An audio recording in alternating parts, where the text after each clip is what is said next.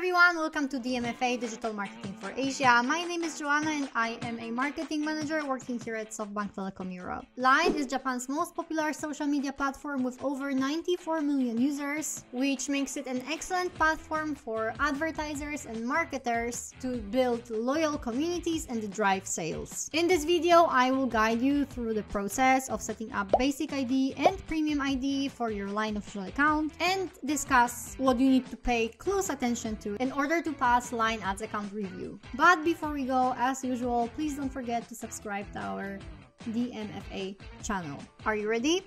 Let's go!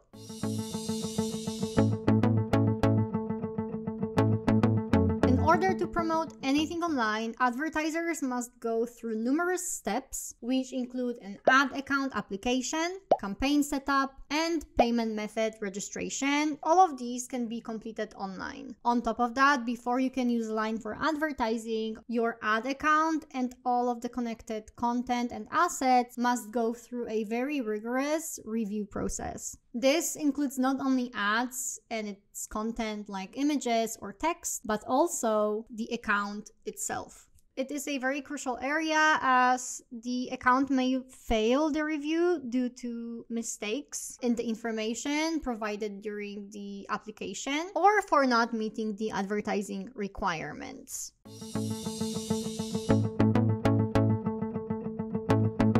Line may refuse to open an advertising account at its sole discretion based on the following criteria. Can the advertised content cause problems or lead to dissatisfaction among Line users? Is there any possibility of violating the law? Does the advertised content violate Line's terms of use or is there a risk of this happening in the future? Does it adversely affect Line's business or damage its reputation? Does it meet other criteria set independently by Line? We have to remember that lines users are people from you know, young teenagers to those over 65 years old. So, in order to have your line uh, ads account approved, you must ensure that the content you want to promote and services and products are safe for everyone and that they meet lines advertising guidelines. If you want to learn more about opening a line ads account, I'm going to put a link to one of our blog articles in the description down below. So, make sure to check this out after you watch this video as well.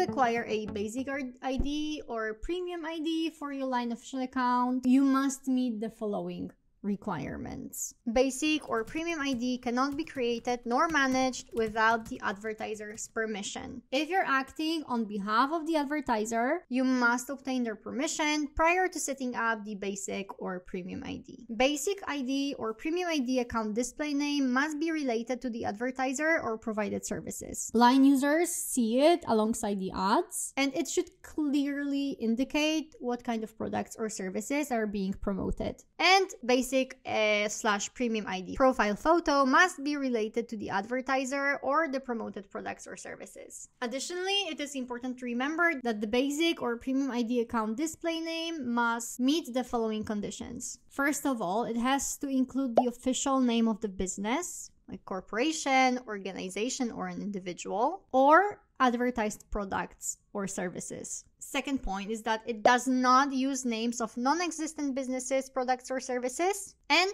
number three, it doesn't use phrases that may be untrue or misleading. The display name also shouldn't be misidentified as a product or service advertised by Line or any of Line's affiliates. A basic ID or premium ID that does not meet these conditions may have their ad account suspended regardless or whether or not they serve ads. Setting up a basic ID or premium ID for your Line Ads account requires careful attention to detail and must comply with Line's advertising policies. DMFA, Digital Marketing for Asia, is a part of the SoftBank family and we are also Line's official partners. So if you're interested in advertising your products in Japan online, but you don't know where to start, or you're struggling with opening the official account, or maybe you are not sure uh, how to open the ads account, please make sure to get in touch with us. As usual, I'm going to put a link to the contact form in the description down below. And that's it for today. Thank you so much for watching. I hope you could learn something more about setting up the basic and premium ID for your line ads account.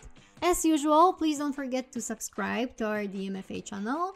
Give this video a thumbs up if you liked it and don't forget to put on the notification bell we post new videos every Monday. And yeah, I think that's it for today. So once again, thank you so much and I will see you again very very soon in the next one. Bye!